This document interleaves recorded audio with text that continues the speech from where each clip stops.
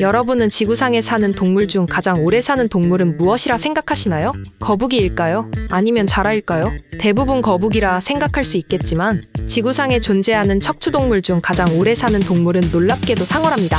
그 중에서도 노르웨이, 아이슬란드 연안을 비롯한 북대서양에 서식하는 그린란드 상어가 지구상에서 가장 오래 사는 오늘의 이야기의 주인공입니다. 2016년 사이언스지에는 그린란드 상어의 수명과 관련된 연구 결과가 실렸는데요. 연구된 내용 중 아주 재밌는 이야기를 해볼게요. 그린란드 상어는 최대 크기가 7m에 달하고 최대 몸무게가 1톤이 넘는다고 해요. 이 정도 크기는 상어 중에서도 가장 큰 상어로 손꼽히며 보통 발견되는 그린란드 상어는 2.5에서 4.5m 정도의 몸 길이에 400kg 되는 체중이라고 해요.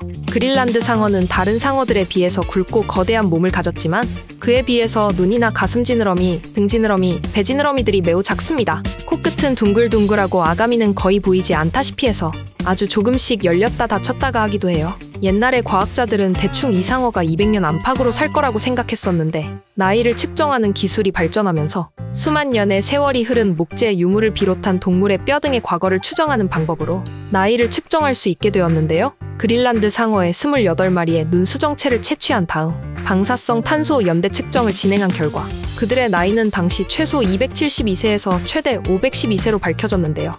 이것은 무려 조선시대 연산군 11년 1505년에 태어난 상어가 지금까지 생존하고 있다라는 거였죠. 1505년생 어르신이 지금까지 생존하고 있다니 너무 놀랍지 않나요? 근데 혹시 방사성 탄소연대 측정이 잘못된 거 아니에요? 라고 의심할 수 있겠지만 여러분의 의심을 가라앉힐 수 있도록 좀 더 설명해 볼게요. 연구진이 밝혀낸 그린란드 상어의 장수 비결 첫 번째. 상어의 장수 비결로 차가운 물속 환경이라 밝혔습니다. 차가운 심해의 수온은 성장과 신진대사 속도를 늦추고 노화 방지 유전자를 활성화하기 때문에 수명을 연장하고 있는 것으로 추정되는 것이죠. 이 그린란드 상어들은 1년에 불과 약 1cm 밖에 자라지 않은 것으로 알려져 있어요. 그렇다면 같은 수온에 사는 다른 생물들도 장수해야 하는 거 아닌가요? 라고 또 의심할 수 있겠지만 저도 유독 그린란드 상어만 수백 년을 산다는 게 신기했어요.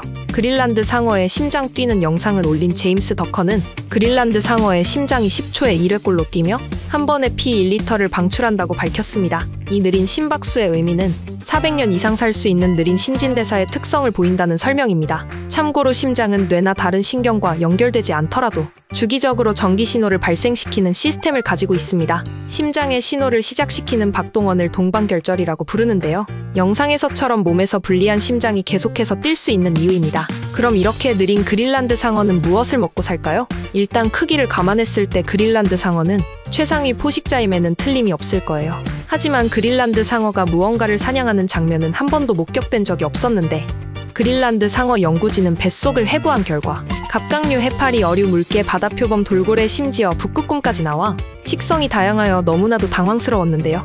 연구진이 당황스러웠던 이유는 그린란드 상어의 평균 유영 속도는 시속 1.2km로 엄청 느린 데다가 이 속도는 움직이지 않는 서 있는 느낌일 거예요. 거의 아기 걸음마 수준의 속도일 텐데요. 그린란드 상어의 먹잇감 중 하나인 물개는 평균 시속 25km로 아주 빠르게 헤엄치는데 어떻게 자신보다 훨씬 빠른 동물들을 사냥하는지가 아직 밝혀지지 않았기 때문이었죠. 게다가 다른 생물에 기생하는 갑각류인 요각류가 그린란드 상어의 안구에 기생하며 표면을 갉아먹고 사는데 이 때문에 그린란드 상어 대부분이 시력을 잃은 채 살아간다고 해요. 눈도 안 보이는 데다가 유형도 느린 그린란드 상어는 어떻게 사냥을 했을 거라 생각하시나요? 일각에서는 이 요각류가 몸에서 빛을 발산하는데 이 컴컴한 시야에서 이 빛을 보고 먹잇감들이 그린란드 상어 주변으로 몰려든다는 주장이 제기됐었습니다만 그러나 이후 연구에 따르면 요각류는 발광 능력이 없어서 먹잇감을 유인하는데 효과가 없을 거라고 전해졌습니다. 그린란드 상어의 사냥 방법은 현재까지도 연구진들의 최대 과제로 남아 있습니다. 그렇다면 바닥에 있는 동물 사체를 먹은 것일까요? 아니면 먹잇감을 보면 흥분해서 온 힘을 다해 속력을 내어 사냥했을까요? 아직 밝혀지지 않은 사냥 방법은 여러분의 상상에 맡겨볼게요. 이번엔 제가 궁금한 것을 찾아봤는데요. 이렇게 몇백 년이나 오래 사는 상어라면 많은 수의 자손을 퍼뜨려서 수많은 그린란드 상어가 살고 있지 않을까? 라는 생각을 해보았는데요. 너무나도 안타깝게도 그린란드 상어는 4m 이상이 돼야 성적으로 성숙한 것으로 보고되었는데 이 정도 크기까지 성장하는데 대략 156년 정도가 걸리므로 즉 청소년기로 150년 가까이 보낸 뒤에야 짝짓기가 가능하다고 하니 제가 숙연해지는 이유는 왜일까요? 과거 2차 세계대전 당시 그린란드 상어의 간이 기계용 기름으로 유용하다는 소식이 퍼지면서 무자비한 포획과 학살이 이루어진 탓에 또 다른 슬픔을 간직한 동물이기도 하다고 하니 오래 산다고 좋은 것만은 아닌 것 같아서 제가 다 미안해지네요. 그린란드 상어야, 내가 대신 사과할게. 미안해. 다행히 이후에는 그린란드 상어에 대한 포획이 금지됐다고 합니다. 오늘의 이야기는 500여 년을 살아가는 그린란드 상어에 대해 알아봤는데요. 북대서양을 유유히 헤엄치며 500여 년을 사는 최장수 척추동물 그린란드 상어. 그들의 신비로운 비밀은 과연 언제쯤 풀 수 있을까요? 이 영상을 통해 그린란드 상어에 대해 조금이라도 더 알게 되었다고 느끼신다면 구독과 좋아요 부탁드려요. 지금까지 지식탐험가 미스틱이었습니다.